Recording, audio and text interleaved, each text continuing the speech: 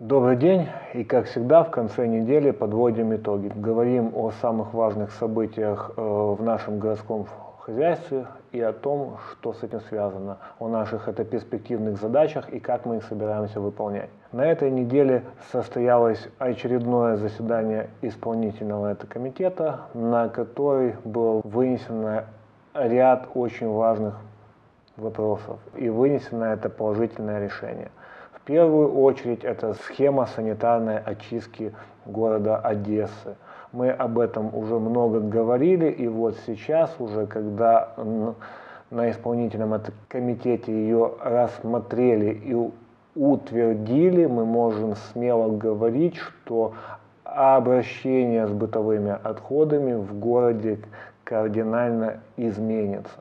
Сейчас мы говорим в первую очередь за сбор и за вывоз бытовых отходов. Зачем нужна эта схема и что это? В первую очередь мы это получаем четкие маршруты, по которым должны работать машины, э, которые опорожняют наши контейнера. Мы получаем четкое количество контейнеров, которые должны быть в Одессе. Мы получаем четкое количество контейнеров, которые должны быть раздельного сбора мусора. И это очень важно.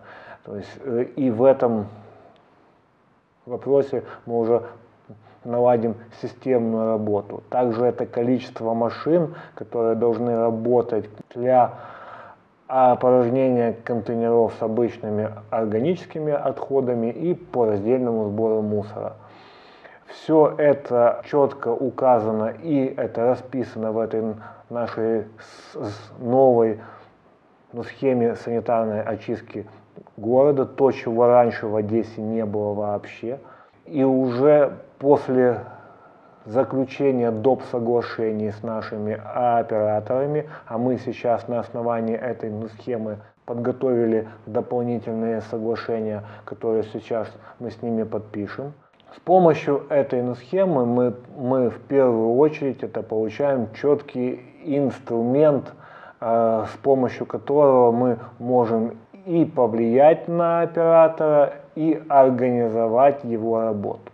Э, поэтому в результате того, что в Одессе будут установлены дополнительные контейнера, в первую очередь под это раздельный сбор мусора, то, что в Одессе будет упорядочен э, вывоз бытовых отходов, систематизирована работа с опорожнением контейнеров, и мы указываем интервал, погрешность может быть не более 15 минут. Я, я уверен, что совсем скоро мы не увидим уже в нашем городе переполненные контейнера и возле них это свалки. Развивая тему санитарного состояния города не могу не сказать еще о э, знаковых это решениях, которые были приняты на э, этом исполкоме. Это что касается районных администраций и так называемых бесхозов. Это то, о чем мы тоже говорили. То есть мы уже выполнили инвентаризацию, о чем было сказано ранее. Мы четко обозначили эти бесхозные территории, э, в том числе это касается и зеленых зон, и зеленых насаждений, и пешеходных частей, и межкварталок и так далее. То есть все э, в Одессе не осталось ни одного метра так называемой бесхозной территории. Что это значит? Это не значит, что это территория, которая никому не принадлежит. Это значит, что это, это территория, э, за которой не был никто за закреплен, и никто не занимался поддержанием санитарного состояния на той либо иной территории. Так вот, уже сейчас мы это получили четкий механизм. Районные администрации э, осуществлят конкурсы. А, на этих конкурсах будут отобраны компании, которые будут заниматься уборкой и поддержанием санитарного состояния на этих территориях, также уходом за этими зелеными насаждениями и так далее. И тут тоже мы системно наводим порядок и уже опять-таки уверен, к началу туристического сезона мы не увидим в Одессе стихийных свалок, мы не увидим в Одессе каких-то забытых заброшенных это территории, которые до сих пор, если и убирались, то только в это рамках наших санитарных дней, либо субботников. То есть как таковой системы не было. Сейчас мы все эти механизмы систематизируем, что действительно добавит это качество в уборке в городе. Ну и еще одно знаковое решение, которое было рас, э, на рассмотрении и по которому также это положительное решение, мы об этом тоже говорили, это об ограничении въезда в город крупногабаритных машин в часы пик.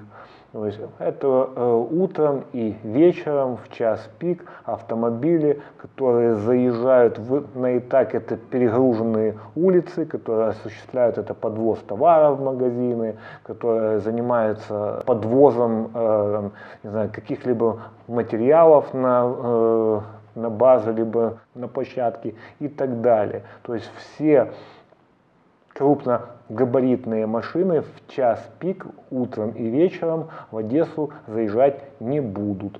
Сейчас эти материалы находятся на согласовании в полиции, после чего э, наша КПСМЭП будет выставлять знаки по городу, которые и будут, э, скажем так, регламентировать те самые ограничения.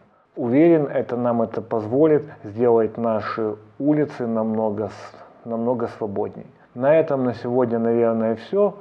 Как всегда, видимся через неделю и говорим о самом важном. До свидания, до новых встреч.